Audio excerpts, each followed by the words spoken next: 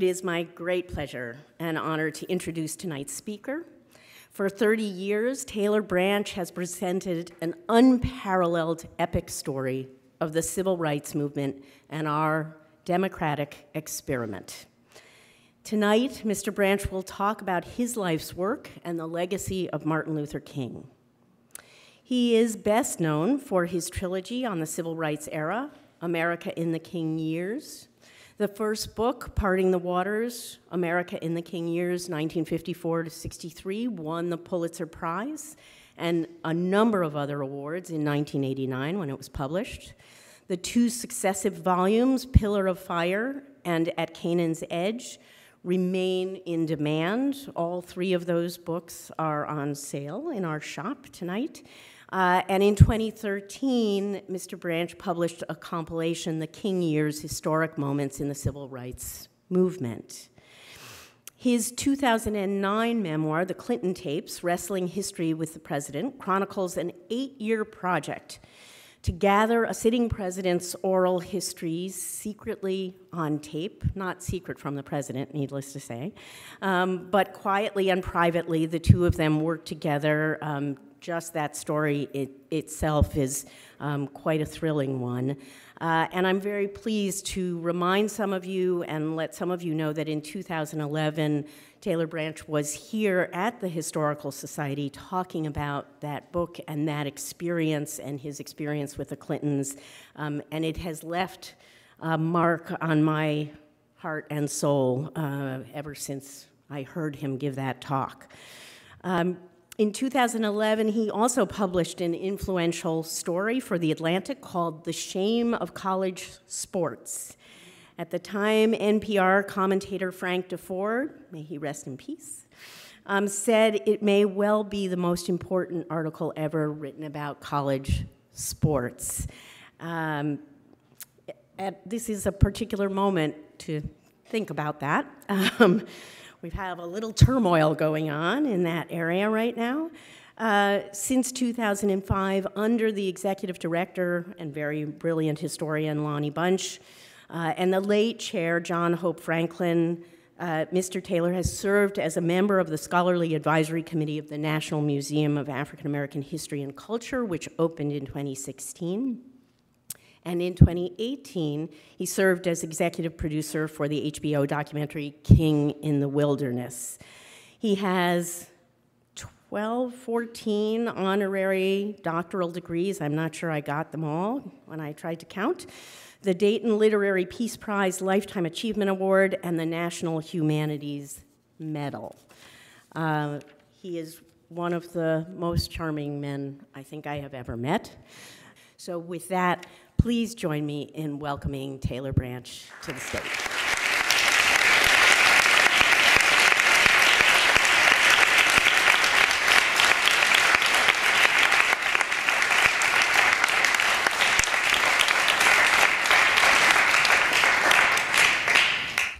Well, good evening, Brooklyn.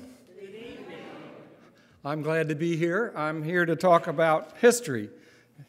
It seems appropriate at a historical society.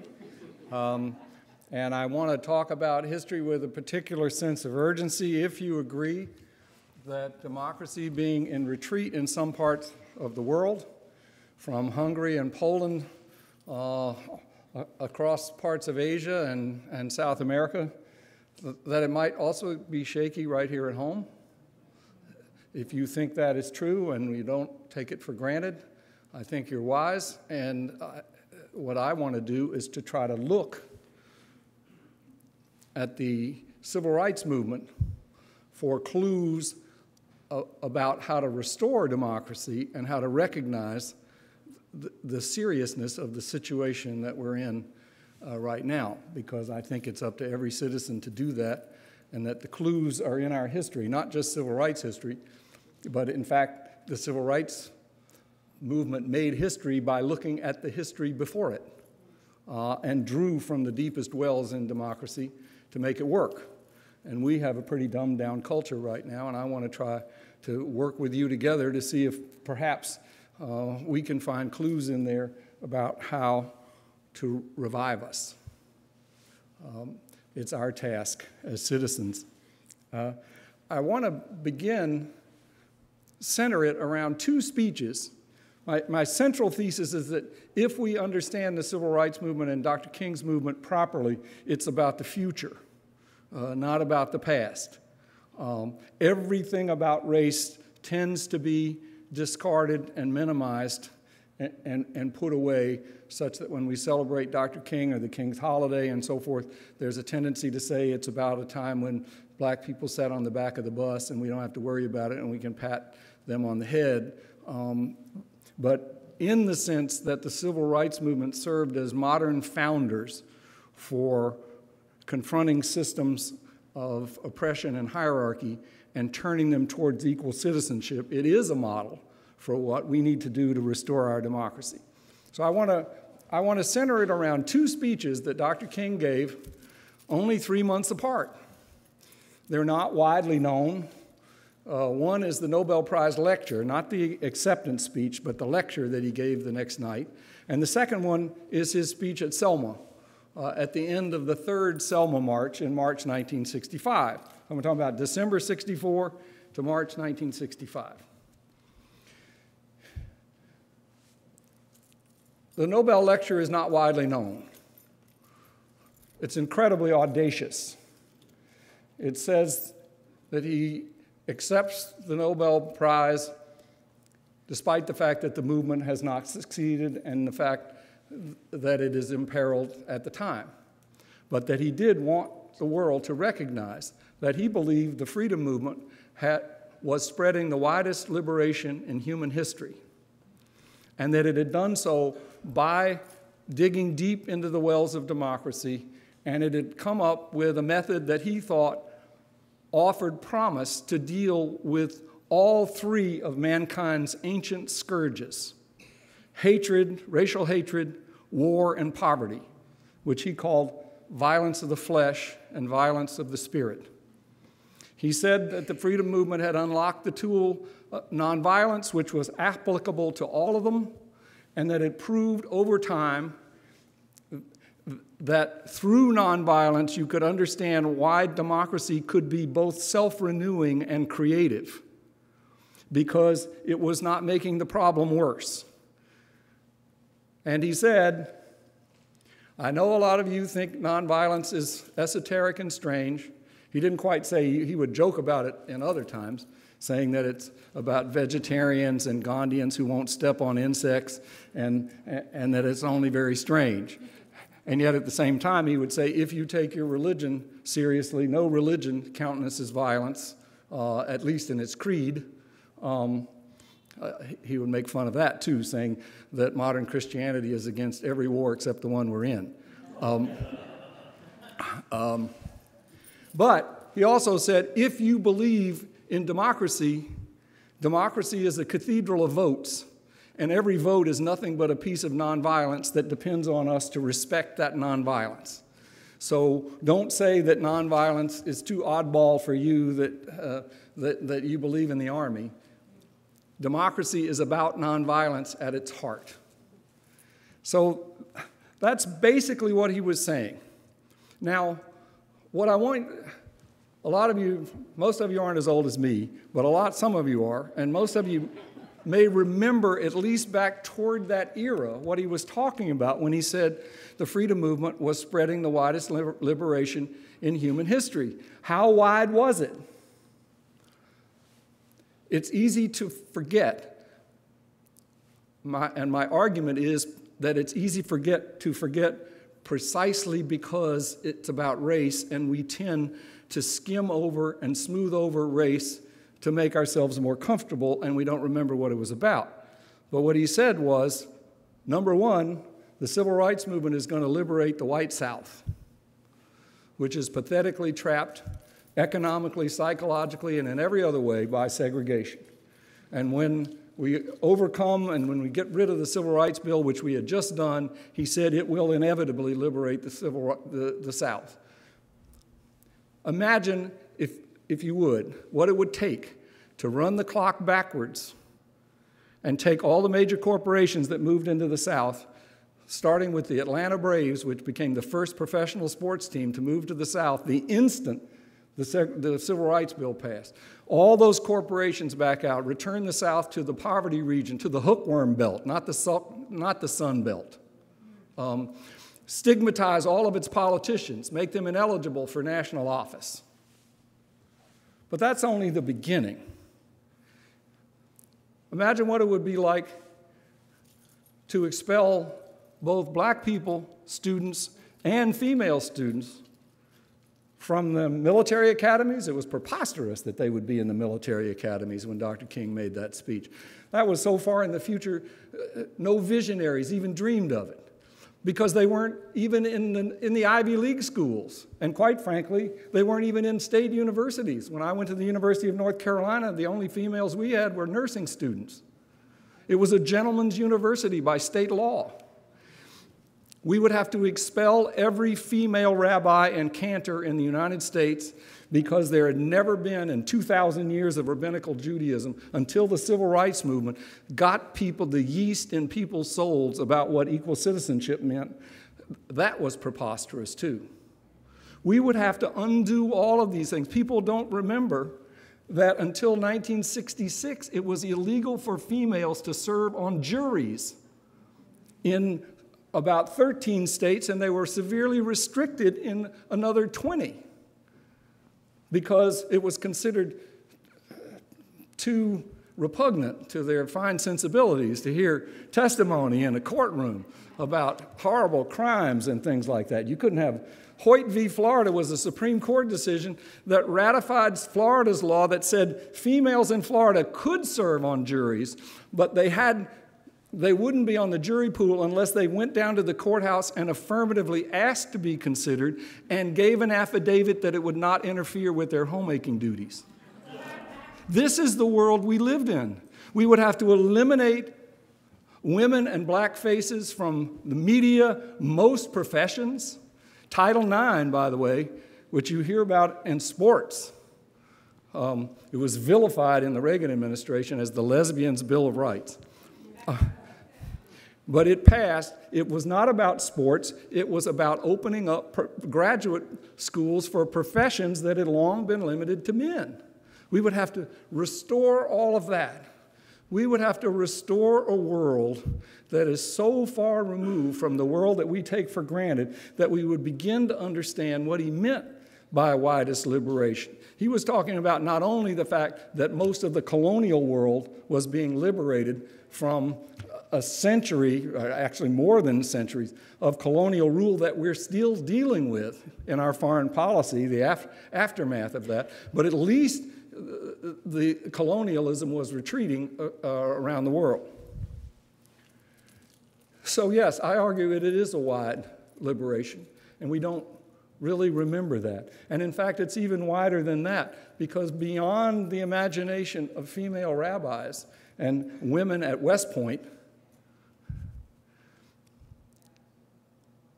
is the world that we take for granted today for gays and lesbians, whose behavior was not only legal, the idea of marriage equality was so far from reality then that I know of no visionary that talked about it that early. The word gay wasn't even in common usage. But once people started struggling over equal citizenship across the divisions of race, it made it easy to apply them uh, for things that were visionary that we now take for granted. Gays and lesbians in those days were, first of all, criminalized, deeply in the closet, and their world was very much like the cross racial world that I grew up in Atlanta, which is an audience that had any of the mix that we have here would have everybody's palms clammy for fear that, our, that something would happen, that we were in it. We, we can't imagine what that was like, that, that, that those divisions um, were so fearful that people were on pins and needles in any kind of uh, cross cultural context. So that's the liberation that he said was being spread on the by this movement founded in nonviolence that he said not only could restore democracy and, and spread liberation and democracy, but could deal with the ancient scourges of racism, poverty, and war. Now, he gave this lecture in Oslo in December 1964, and all of his staff said, This is really great. We got the Nobel Prize. It's taken us 10 years since the Brown decision, but we finally at least dealt with segregation. We should dine out on that for about 20 years of chicken dinners and, and honorary degrees. And King said, No. Um, the mountaintop is fine, but the valley is calling me. And he dragged his staff from Oslo to Selma. And he was in jail within a month in the, in the Selma movement. The rest of his career, the last three years, which is what we dealt with in the uh, documentary King in the Wilderness last year, shows a much more driven Martin Luther King, knowing that time was against him for reasons that I'm about to get to, saying, We want to leave a witness, even though the politics of the time are turning against us. We've set this thing, and he dragged them to Selma to say, We've got to deal with the vote. Then he dragged them to the north to say we have a limited time to show that race in America is not and never has been just about the South. And he exposed race, racial hatred in Chicago that he said was as bad or worse than any he had ever seen in Mississippi. Then, over the all but unanimous vote of his staff, he attacked the Vietnam War in the Riverside Church. Uh, and in one of his greatest speeches, saying, I don't begrudge anybody's anti communism, but if you really believe in democracy, the way, to make the way to defeat communism is to show that you have the best form of government and that freedom is, is, the, is the best system f- uh, for the world. If you think you can spread democracy by violence, you do not understand democracy. That's basically what he said uh, at the Riverside Church. And then finally, just when the staff was beginning to get over that, Many of them wanted to go back to the South. They didn't want to be in the North. They didn't want to do Vietnam, which turned a lot of the civil rights movement and black leaders against them. Um, he said he wanted to have a poor people's campaign, modeled on the bonus marchers, by the way, from the 1930s, who, who came to Washington during the Depression and camped out, and the Army drove them out. Colonel Patton and Colonel MacArthur drove them out, killed several of them. It was a, it was a, a debacle. And yet, Dr. King said the agitation that that, that that set off over what the country might do for, for soldiers of freedom planted the seeds for the GI Bill, which he said was the greatest act of, of, of, of, a functioning democracy to, to, to create the middle class in history. And he said, Our Poor People's Campaign, if we do it right, might lay seeds for generations beyond us. So that's what he was doing. But Selma was a huge breakthrough, the last great big breakthrough in, in the civil rights movement. One that Lyndon Johnson recognized in a speech that's famous because he said, We shall overcome, but it should be more famous because of the very beginning of it when he said, There are certain moments that go to the very heart of America. So it was at at uh, Concord and Lexington. So it was at Appomattox, and so it was last week in Selma. And he, he equated an all black nonviolent march for voting rights in Selma with the pioneers of original American democracy in all of its crises the Revolution and the Civil War, where race is always um, at the center of those things when they, when they come to the fore. So King, a few days later, they, they get to Montgomery and he gives a speech. They had to mangle it in uh, Ava DuVernay's movie uh, for fear of copyright, which is a nitty gritty issue that we won't get into. Instead of saying, How long, not long, uh, they said, Soon, it will be soon, or something like that. they lost all his music. But, but the music of that speech was that that we were addressing something at the very heart of democracy, which was the right to vote for the Voting Rights Act. Um, may it be restored. Um, But the part of the speech that I want to call to your attention tonight is almost entirely lost because he gave a pretty long speech there. It's about 45 minutes. And what he said was this is a pinnacle moment, but I want you to look at history and recognize that there is already a danger that when America sets goals and makes landmarks to deal with the true issues of democracy across the races that divide us, forces set in that go in the opposite direction.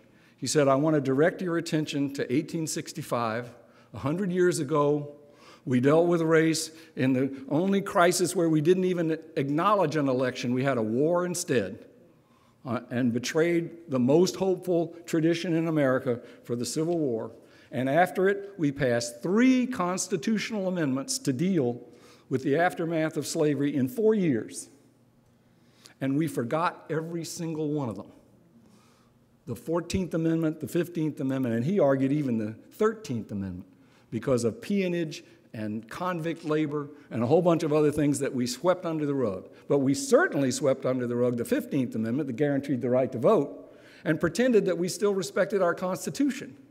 He said that shows the power of forgetfulness to sweep our politics under the rug and distort the memory of what we've done.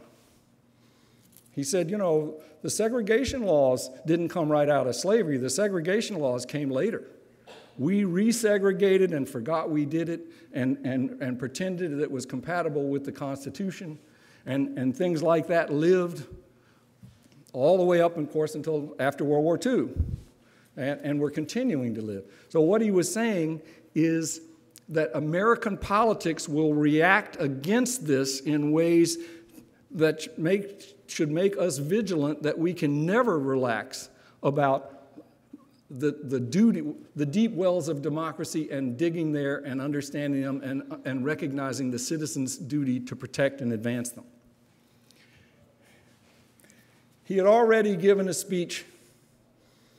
This is not as big a speech, but to me, it, it may be more of um, an illuminating speech to illuminate what he meant by the warning that American history shows that the American people have a capacity to deal under, in crisis with, with race and democracy and what it means, but they also have a capacity to forget that and, and to find ways to channel and sublimate that hostility in, in ways that will undermine it and have history go backwards. And he cited George Wallace. He said, George Wallace, before he ran for president in 1964, the previous year, completely redid his standard stump speech.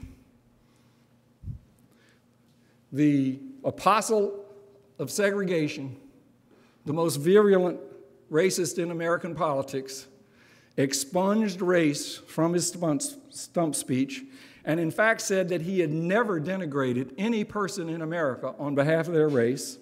And he said that his only goal, and the reason he was running for politics, and the reason that he believed that at least one party and maybe both would adopt this agenda, that his goal was to restore local politics from the centralized tyranny of tax and spend liberals, big government, and tyrannical judges. And his speech invented the vocabulary of modern politics.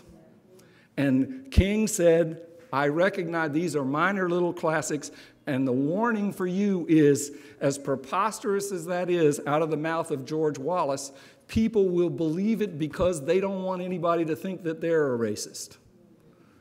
They, they, everybody wants the benefit of the doubt.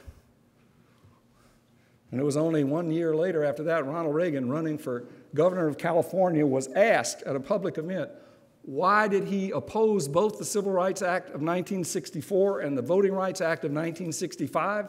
And he exploded and said, I do not have a race, racist body, bone in my body. I will not listen to this. He walked out and he was never asked that question again.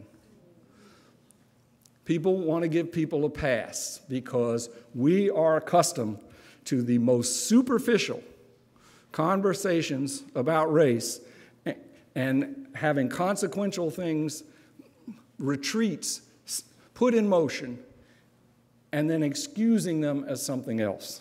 I mean, even in a trivial sense. From my world of sports, I'm not here to talk about sports tonight. But in 1966, by the way, speaking of sports, there was another thing about the widest liberation in history. Sports were basically all white then. College, the University of Texas won the national football championship in 1969 with a, a roster of 85 players, all white. Even sports were still segregated. Uh, so the liberation was going in there. But in 1966, Adolph Rupp's dominant Kentucky Wildcats lost to Texas El Paso, uh, UTEP, to an all black team that dunked. Adolph Rupp was on the, on the rules committee of the NCAA, and for eight years, from 1968 to 1976, college basketball outlawed the dunk shot. Now, nobody remembers this. People don't remember it. It is too deeply racial. And, and not only that, they swallow the excuse that it was about Kareem Abdul Jabbar. You know, because of one player who was over seven feet tall, there have been plenty of players, you know, Wilt Chamberlain, on and on. But it was because Rupp did that that he did not want his all white teams to be humiliated by black players who could dunk even when they were shorter than they were. And and the dunk shot was outlawed from 1968 to 1976, not only in games, but in warm ups. If you dunked in a warm up, the game started with the other team shooting free throws. We don't remember that because it shows the galling, almost humorous, pernicious nature of race, how deeply it is under our skin. So, what I'm trying to say is that we have a capacity to trivialize race and to be skittish about it, that the people who've been taking George Wallace to heart and using that vocabulary against government to the point that it gets it's corrosive it opposes government at every turn at least that part of government that, that's, that's about we the people that, that, that, that is beyond, say, Genghis Khan's government, you know, military and that sort of thing. All of the democratic aspirations of government are vilified. You don't have to have an idea to be in politics. You just have to cuss government that's telling you that we might have to work together across the lines that divide us. So you have hostile, dumbed down politics that win elections. The quintessence of that is Trump because after 50 years, it's kind of almost run its course, and, I, and the electorate knows that we've got to do something more positive. And so I think he's having to bring out into the open the things that have been uh, implicit for a long time, which puts us at a crisis point. We're either going to have another movement to recognize that we have to restore and respect our democratic rights, or we're going to risk continued corrosion in our respect for the basic institutions of democracy. I mean, I don't know about you, he, he's attacked and, and, and denigrated a lot of institutions, the FBI and so on and so forth. But when he said the other day that I've got the Army and I've got the police forces and I've got the motorcycle clubs, and if we don't win our elections, they're going to be unhappy, he's threatening the voters. Now, that deserves more because that's the institution that we take for granted the most, that we pay attention to elections, how, however great our divides are. There is no issue in American politics of any seriousness for which race is not at the heart. I don't care whether you're talking about taxes, guns, immigration, um, apportionment, gerrymandering. It's, it's all about race, but we deal about race by, in an emergency situation. Something happens that is so egregious, somebody being shot, somebody being killed, that we deal with it and it's a crisis and it interferes with regular politics just long enough for people to address that and say we're in a crisis, and then they go back to regular politics. If we were a mature country, we would recognize that in order to address any of these issues, we have to be com- comfortable talking about the place that race plays in them, including guns, including the Second Amendment. Our history is so superficial that people have no sense at all where the Second Amendment came from. The Second Amendment did not. I'm writing about this now, and I, and, and I, I can't prove it every degree, but if you read the Second Amendment, um, a well regulated militia being essential to public order, the right to keep and bear arms shall not be infringed. Nobody cared about militias. You can't find a historian. George Washington cussed the militias one, up one side and down the other. He didn't want any militia troops because they were drinking clubs. And, and, their, and their arms were stashed in armories, and they would come out and have drinks. They were worthless. Nobody would secure their rights in the Constitution. But was, what was not a joke were the slave patrols, which were the distinctive security institution for slavery for over 200 years.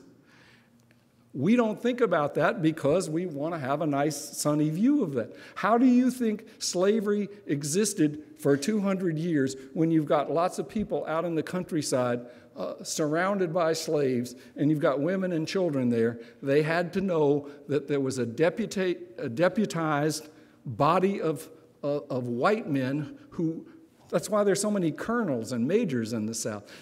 It's an honorary term for the people who served on the slave patrols. What I'm arguing is that it's at least as plausible that the Second Amendment was put in there to, to appease the anti federalists who were worried that the federal government could take their slaves, as that makes a lot more sense than the notice, notion that they put in the Second Amendment so that everybody could be confident that nobody nobody's going to steal their squirrel gun. And now we've, we have translated that through the same kind of euphemistic race suppressing um, politics to think, to allow people to run around saying that American democracy can't, can't protect me and I need my AK 47 to go into Starbucks. So these are the kinds, these are the kinds of things that, to me, illustrate that, that, that we have accepted euphemism for serious discussion. And, and we have drifted away from what Dr. King did. He said, Our movement has to go into the deep wells of democracy because that's our only hope to, to, to deal with to heal, to redeem. What he said, we want to redeem the soul of, of America and American democracy by using its own tools, because that's all we had. And, and the first place he went was into the, into the revolution, into Madison, really. Madison said democracy is pre- preposterous, it hadn't existed for 2,000 years. Only a profound meditation on human nature can give us any hope. And he came up with two things. Forget all the stuff about checks and balances and so on and so forth. That's important. But underneath it, if you read the Federalist Papers, he said it's a psychological bet against the grain of history, which is about rulers who trust their army and want to discipline others to say we can form a government that says people can govern themselves and build up public trust. That, that is the psychological premise. And Dr. King said that is the premise of our movement. Nobody has, more self discipline and more public trust than a freedom rider who looks at a Klansman who's about to hit him and say, You can hit me, I won't hit you, and it may not change your heart, but it's going to change your children's heart or your grandchild's heart. And that this kind of patriotism um, was the intellectual basis for reaching deep into the wells of democracy. But Dr. King later said, look, that's an idea. It, it won't work just as an idea. He tried to preach America out of, out of segregation and it didn't work. He, he recognized with the sit in students that human nature is so stubborn that there's some places where you have to, you have to advance beyond those deep well arguments and, and premises for democracy by sacrifice and personal witness. It's up to the citizens. That's where the Freedom Riders came from. That's where the children came from who marched into dogs and fire hoses. Um, and lastly, he said, You have to have an irrational belief in nonviolence because nonviolence is not a popular word. It was the most powerful idea in the movement, but the first one to become passe and that people don't really talk about, don't really understand. But he, he, he said, You have to have belief that we can be self governing, that we can build public trust in spite of all the evidence to the contrary, if our citizens are willing to sacrifice for it, and if our citizens are willing to maintain the irrational hope that democracy can succeed in a world that's, where it's still surrounded by dictators and sultans and Saudi Arabia, for God's sake, and Putin, oh, and all of these places. Democracy, we have to recognize, is still relatively young. It was most people who, who have drawn breath on this earth think of it as preposterous. In fact, they never even considered it. It was only a century ago at the funeral of Edward VII in, in England that there were about 75 monarchs rode in on horseback sultans and kings and so on and forth, for all over the world, representatives from China and stuff. And then behind them were women, queens and stuff, in carriages. And then way back at the back, they had Teddy Roosevelt in a car as, a, as the Republican representative. So, only a century ago, the world was canopied with, with kings and sultans and dictators and stuff. We're still a little isolated. We should never take it for granted. And what I'm trying to say is that the civil rights movement is the best example of how you reach into the deep wells for something to confront um, uh, the challenge of democracy. And that if we're serious about it, we can move our dialogue forward from really a truncated, dead end conversation between racists and non racists. Nobody has a conversation where you start off saying, You're a racist, and the, and the other one says, No, I'm not a racist. Where does that conversation go? The best scholars that I know writing against racism call themselves anti racists. Anti racism is, is a very, very limited concept. How far can you get? What we really need is a positive matrix. How interracial is your understanding of the culture that is establishing democracy in the United States and being the example for democracy around the world. We have a lot to be proud of. We have, we have communities from all over the world living here. Go to a naturalization ceremony sometime. Um, they're unbelievable. Uh, we do have a lot to commend us, but we are a lot more, our lives, our, where we live, who we have dinner with, uh, our lives are much more segmented than, than we like to think. We need to acknowledge that because the other side is, is basically betting that the people who used to be called liberals, but because that was too two associated with the civil rights movement decided to call themselves progressive so that they wouldn't be accused of being, you know, they were skittish about exposure, losing elections on race. We have to get over that and say when we deal with race, good things happen for everybody, beginning with the fact that we understand and can really wrestle with the deep wells of democracy. And it would be positive, and, and it should be positive. And um, my first practical recommendation is that every public debate, every public session about politics should end or begin where I'm going to end now um, with a recitation. It's only one sentence, but like King's Nobel Prize address on the audacity of the freedom movement to want to liberate the world and spread the widest liberation in history. If you listen to these phrases written by slaveholders, it's very hard to be cynical about government. We, the people of the United States, in order to form a more perfect union, establish justice ensure domestic tranquility, provide for the common defense, promote the general welfare, and secure the blessings of liberty to ourselves and our posterity, do ordain and establish this Constitution for the United States of America. If everybody started there, we'd be better and we would understand that race has always been the original sin, but also the original promise for deepening our understanding uh, of, of where democracy can stand in the world. Thank you.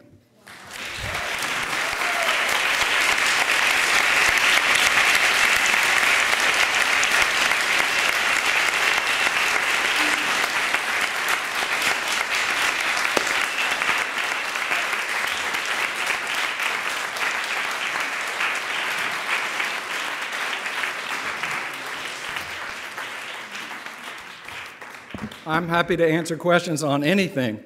Um, not all, not just highfalutin stuff, but I, I, I, wanted to try to. You're a historical society. I wanted to tr- try to put the challenges before us that are on the same plane with I think is the is the depth of the crisis that we face. So forgive me for uh, for. Uh, a lot of ideas and not as many stories as I usually do. This is a very small question. What, would you care to comment on Bayard Rustin's role in accomplishing what Dr. King accomplished? Good question. Well, Bayard is an amazing character. I, I, I, spent a lot of time interviewing him. Uh, it was a privilege to do that. Um, that's why I'm glad I started when I did. I missed a few people; they had already died. So, um, but I did get to spend a good. You know, it's a it's a complex story. He he was. He was erudite. He was brave beyond measure. He was wise. He was also conflicted. Um, uh, you know, he was persecuted. He was black, blackmailed. Um, Adam Clayton Powell, but this, this raw politics in the black in the world of black preachers, and um, uh, so Bayard was victimized at, for, at times, and he came back. One of my one of my best interviews with him was about the March on Washington, because the March on Washington, of course, rehabilitated him. He had been uh, in exile because of Adam Clayton Powell and, and, and Dr. King, much against his will. Um, um, allowed Bayard to, to, to not be one of his advisors, to retreat. There was tremendous Cold War politics going on here. This is Hoover, this is wiretaps, this is you're vulnerable, this is Kennedy saying they'll blackmail us, uh, so on and so forth. There's, there was a lot going on. But anyway, Bayard launched this comeback after basically being in exile from 60 to 63. But before that, you know, he went to jail any number of times. He went to Africa. He, uh, he, he, he, crusaded on any number of issues. He was also a fabulous musician, a world class art collector. I mean, um, but he's in exile. And Dr. King and A. Philip Randolph basically um, stood up to Roy Wilkins and uh, others who did not want him to have anything to do with the March on Washington. And he basically was the behind the scenes organizer. And um, People forget that when the March on Washington occurred, the country was absolutely on pins and needles, and the news media, wildly different from today's 24 7 news media, but the news media was on pins and needles um, in the conviction that you could not bring several hundred thousand black people to Washington without there being a bloodbath. There were paratroopers posted all around the city. Um, they, they, they cut off alcohol sales. They stockpiled plasma. They had the courts ready to deal with um, uh, uh, dragnet arrests all night. Um, this, this was, and, and to me, the most serious thing you know what it takes to cancel a Major League Baseball game in advance? Major League Baseball canceled two games, the day of the march and the next day in advance on the assumption that we would still be cleaning up the blood uh, in Washington, D.C. The Washington Senators had two games, they were canceled in advance. That's how scared people were. That's how. Uh, I'm talking about pins and needles, the pins and needles culture. Then all of a sudden, you have the March on Washington, which is the only mass meeting the mass meeting being the distinctive cultural institution of a civil rights movement that didn't have its own banks and its own TV stations and its own, it had the mass meeting in a church. Well, this was a giant mass meeting. It's the only one that was televised, and, and its spirit came through, and everybody said, wow, this isn't so bad. So Bayard, Bayard told me that when this was over, they put him on the cover of Life magazine. And he said, All the reporters knew that I had been a communist, that I was a, that I, I, you know, that I was a bastard, that I thought my mother was my grandmother, uh, that I was, uh, that I was a draft dodger, that I had gone to jail instead of World War II. They knew that I was a pariah by every standard. And he didn't say gay, but that was there too. That I was a pariah by every standard and he said, he confronted them at a press conference and he said, I know why you put me on the cover and why you're now saying that I'm a genius. It's because you're embarrassed that you so misgauged the nature of this march. And I allowed you by putting me up there saying, yes, there would have been a bloodbath with these dark hordes, except this genius, Bayard Rustin, put porta potties all along all along the mall and made those Negroes nice enough for tea. Um, that's Bayard. He had a sense uh, of himself. He was re rehabilitated. Um, and for a couple of years, he was, he was a major central strategist. But there was conflict again over Vietnam, you know, because he went to work for the AFL CIO. And Bayard, after a life time of pacifism, basically criticized Martin Luther King. He was one of the ones, believe it or not, who criticized Martin Luther King for taking on the Vietnam War because he said it's undermining the basically the great society politics uh, that are really about the nuts and bolts that we've never had before. So it's it's an amazing story. It's, it's, it's, a, it's a romantic story, but there are elements of tragedy in it. I'm sorry. Uh, He's such a fascinating figure. If you'd asked me an easier one, I'd have given a shorter answer. Yes, sir. A what if question. Mm-hmm. If Martin Luther King had not been assassinated, how, in broad strokes, do you think our history here in the United States would have been different over these past 55 years? Mm. That's another easy one. Um, well, of course, that's an impossible question, and it's going to take longer, but I'm going to give a shorter answer. Um, I, I think it's hard for us, uh, easy not to notice that he was a widely marginalized figure by the end of his life. He was not on the front pages. Uh, it was not, I mean, he was denigrated by the left, um, by the Black Power movement, and certainly by the major news media. Uh, nobody was looking forward to his Poor People's Campaign, um, which was denounced by everybody. So, my theory, and this is wild speculation that I shouldn't do, I think he was headed towards some kind of uh, breakdown um, physically. Um, he, he, he burned the candle for way too long. He would have had some kind of retreat. And quite frankly, I think that he would have emerged, at least for a time, as a spokesperson for the international movement. The fact that nonviolence surprisingly went outside the United States. Um, solidarity in Poland. Um, we shall overcome at the Berlin Wall. Uh, doing miracle, Nelson Mandela um, that, that, that, that, that the spirit of the movement, the liberation that he was talking about, really the spirit of the civil rights movement went outside the United States. And I think he would have recognized that and tried to say, we need to take counsel from our, with our own inspiration and try to. So, so I think he would have been, been more of an international voice. Uh, beyond that, I, I, really don't know, and even that is, is, is kind of a guess. Yes, ma'am.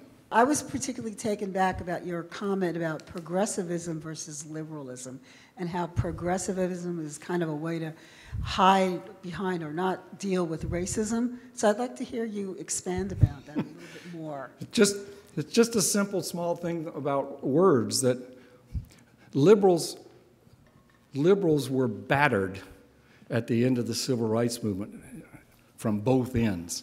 Radicals said that they were milk toasty, and, and conservatives said that liberals had forced the civil rights movement down their throats. So liberals were under siege because they were identified with, with, with, a, with a movement that had race at its center. Okay? And, and it wasn't very long after that that Democrats uh, starting to win, uh, running in elections, kind of distanced themselves for that, from, from, from that in order to win election. And so words, to me, words do matter and vocabulary matters.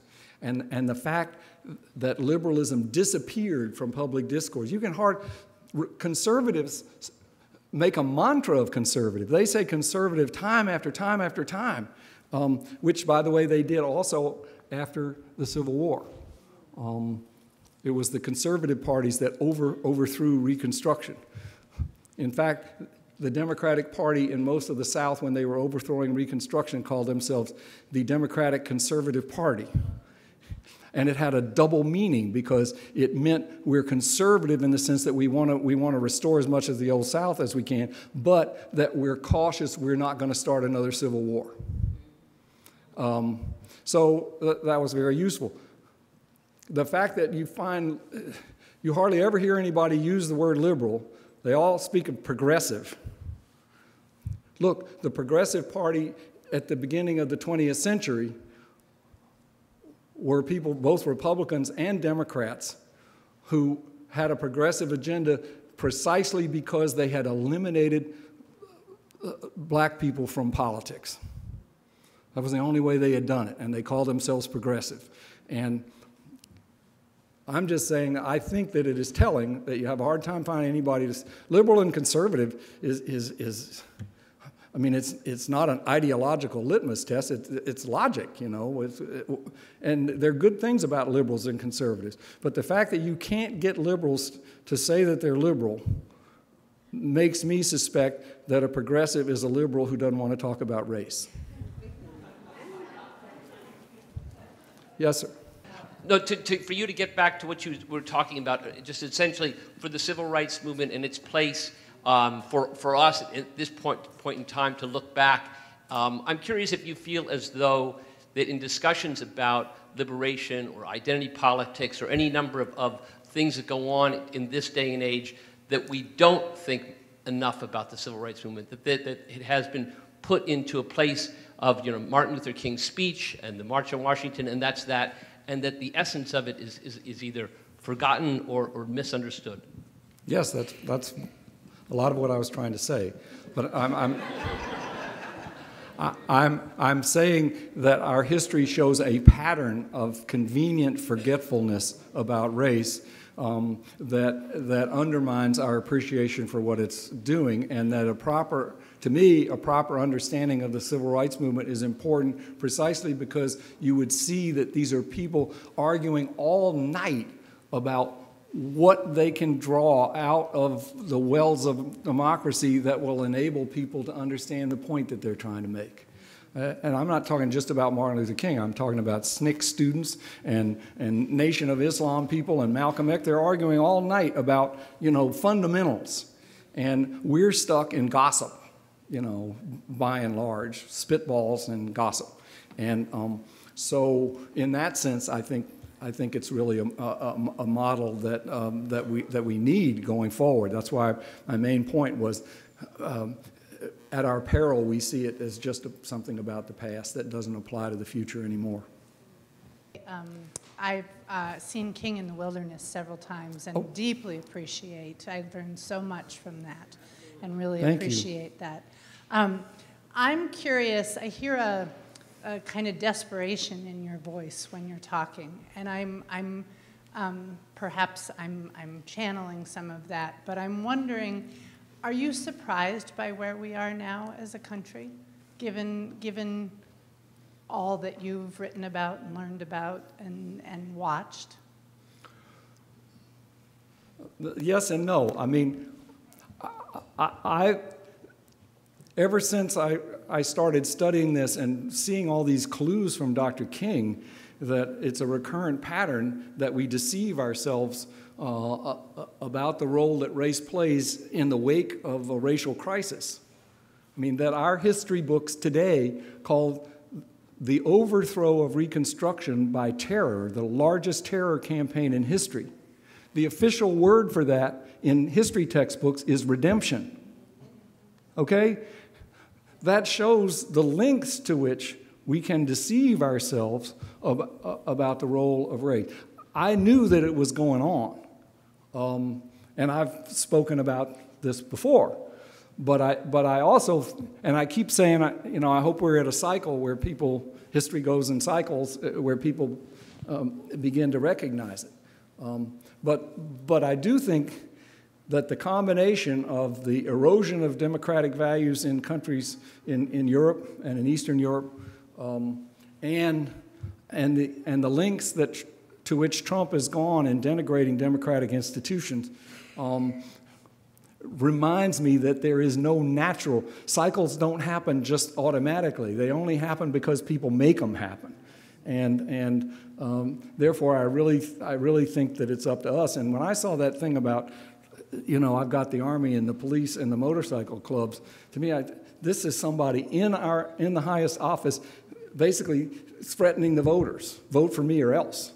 Um, and we haven't had that. I mean, to, to, me, that, that is an existential threat to democracy beyond um, anything George, Washington, George Wallace ever dreamed up.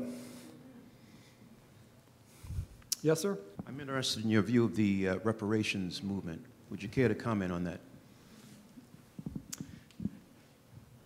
Yes. Reparations means repair.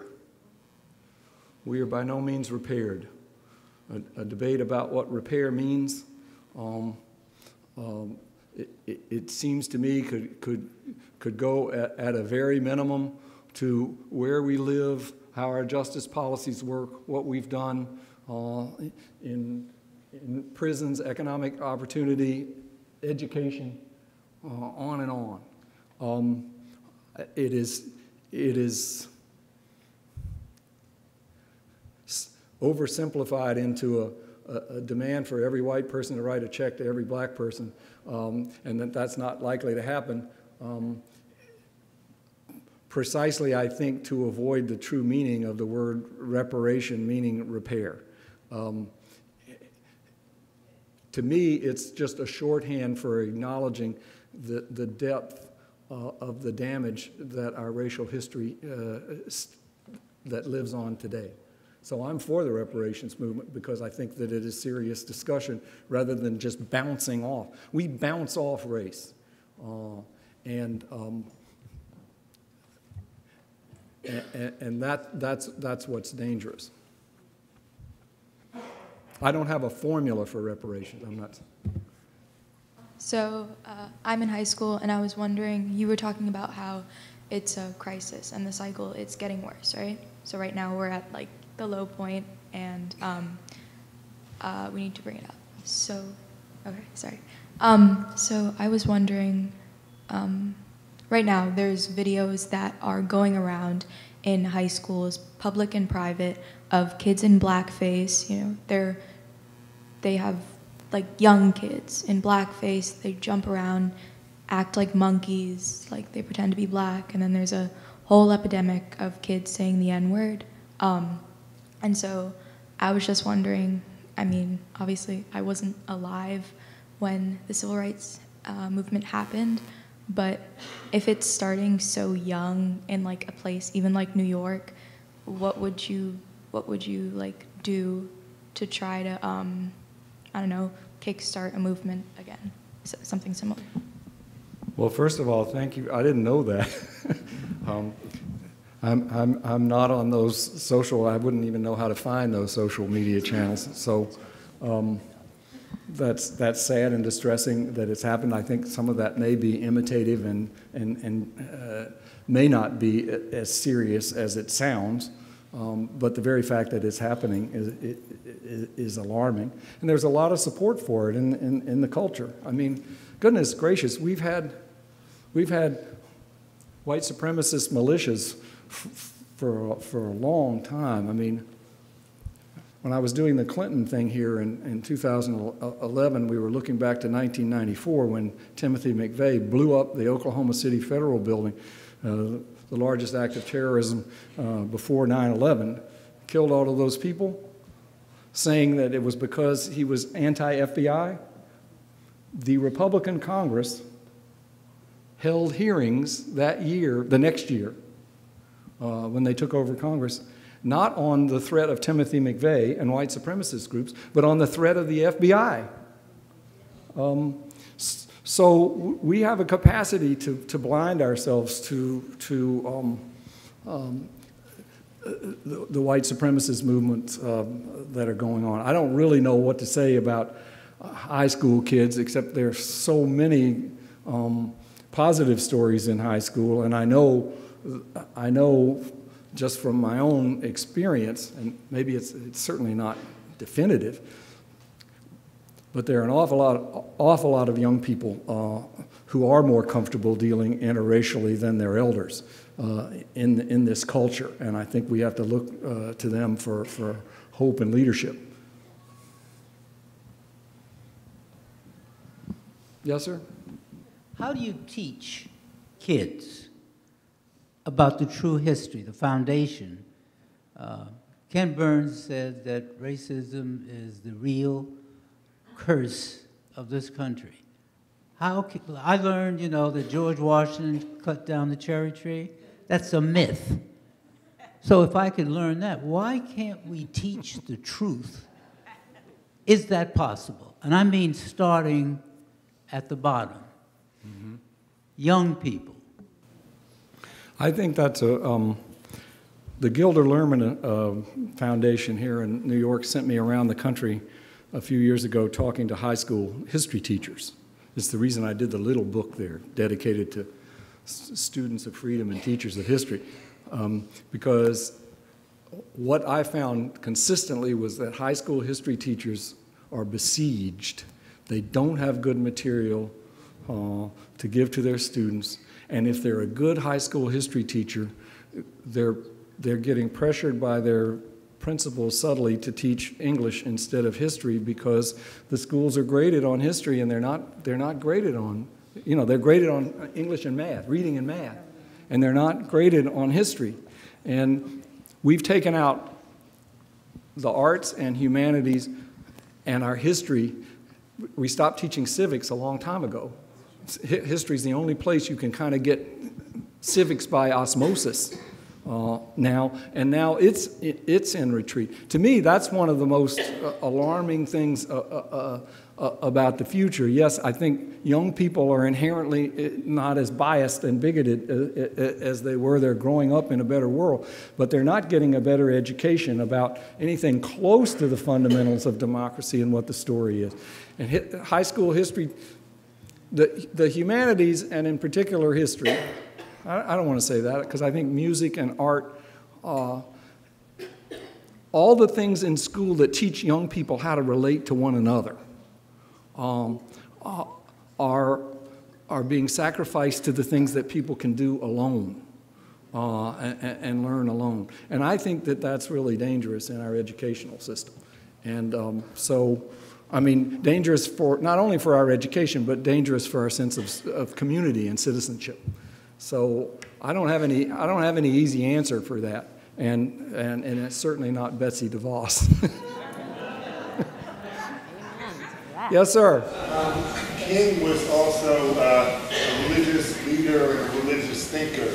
Uh, since that time, the culture has become much more secular the extent that religion is involved in public life is, is more conservative and frankly negative. What do you see as the prospects of religion playing a more constructive role in our civic the did during King's era? That's almost to me like the liberal and progressive question. It's when it's, it's when church people in this true spirit of religion choose to stand up again. We have plenty of religious influence in our politics. It's just, it's all on the right. uh, religious right people pretending that they're being religious. Um, um, so, so that's really, but you know, one of the great gifts that King had was that he talked about religion and politics every day and had many enemies, and yet I can't find a single play example in the record where he was attacked for mixing church and state. Not one. And he was attacked for plenty of things, but not that. And the reason to me is that he, one of his great gifts was that he, he had a his rhetoric, if you study his rhetoric, it was incredibly balanced. He would put one foot in the Constitution and one foot in the Scripture, and he wouldn't, sub, he, he would say either way, equal souls or equal votes. Whatever your, these, these root premises, our root, rooted beliefs are compatible with one another.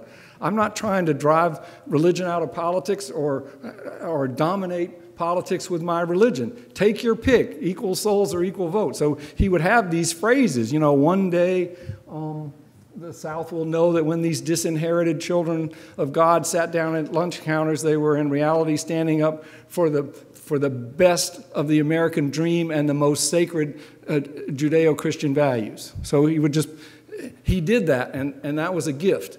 Uh, but it allowed him to, to talk about a spiritual base um, in an honest way um, that, that I think is healthy. You know, I, in America, if you are anti religious, you, have a hard time assembling a majority.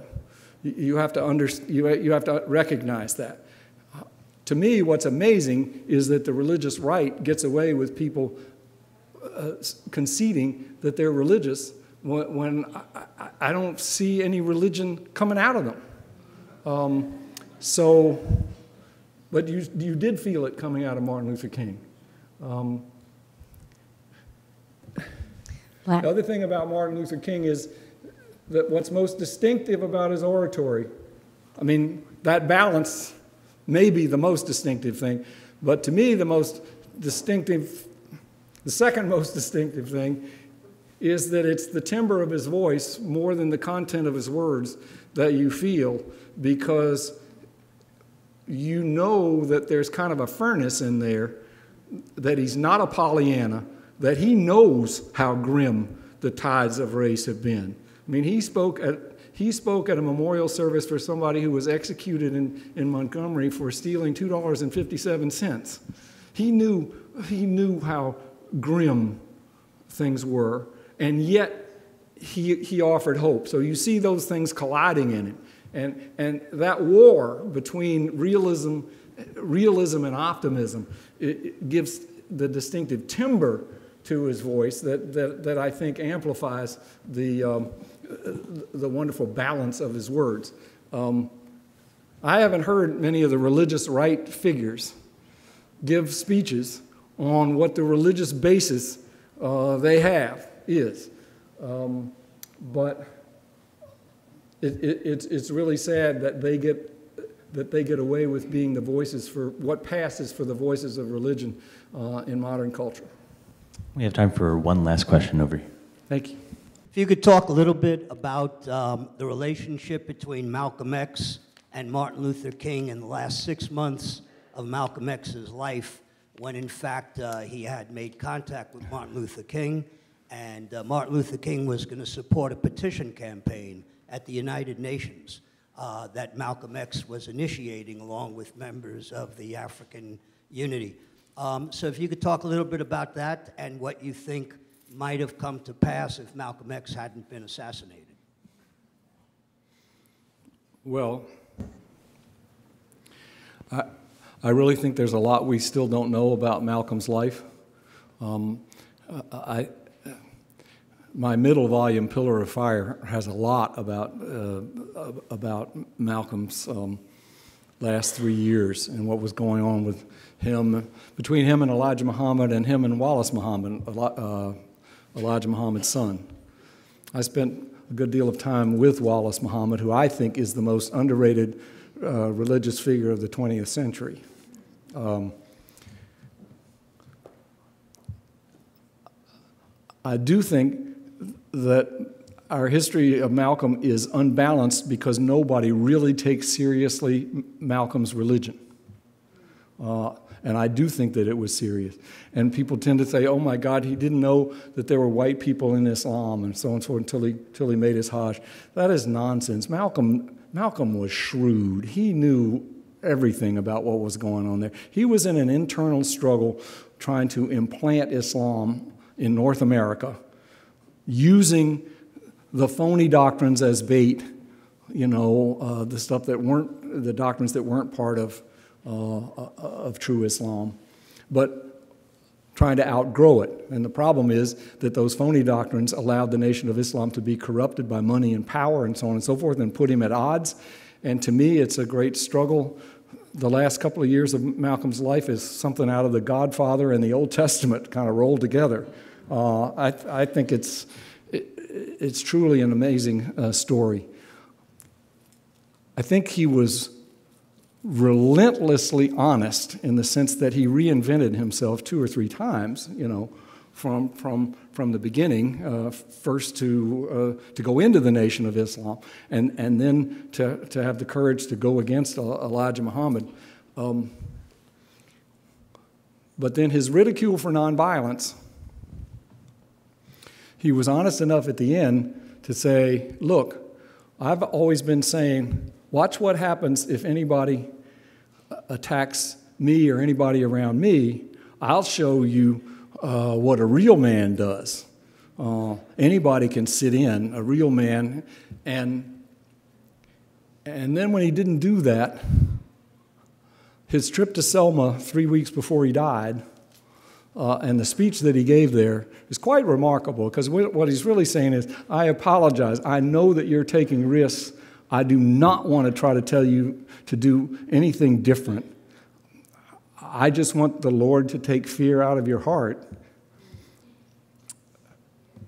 It, it was, he was in transition. It, I think what he was saying was, I scored cheap points by ridiculing you across the wall for being nonviolent, saying that I was going to be violent, but I haven't been violent. So it's just empty rhetoric. So at least I want to say I respect what you're doing. Now, where he would have gone that, from there, I don't really know, but I think that he was really, really serious about trying to implant true Islam, which he thought had the capacity to deal with race. Now, Islam may not have the capacity to deal with a lot of other things, as the Shia Sunni, uh, he, he, was not really in the Shia Sunni thing. That was uh, predated his lifetime, but it was a reality. He thought it had the capacity to deal with, with the uh, undertow uh, of race. I don't know where he would have taken that, but um, Malcolm uh, is truly um, uh, an extraordinary figure, and I think we're still learning. We still have things to learn uh, about it, and and I, I, know his life was cut short. I, what I wish is that there was, a, there was a better biography of Wallace Muhammad, because I think Wallace Muhammad was Malcolm X with patience.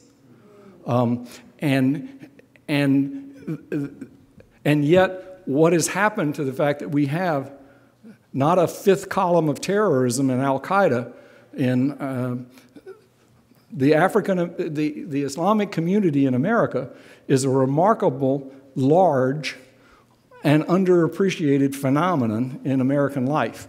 And I think uh, to start with Malcolm and, and, and, and and understand what Wallace Muhammad did afterwards to transform the nation of Islam uh, would, would be a great service to this country. If I were, uh, if I were younger, I, would try to work on it. Thank, thank you so much. Thank you.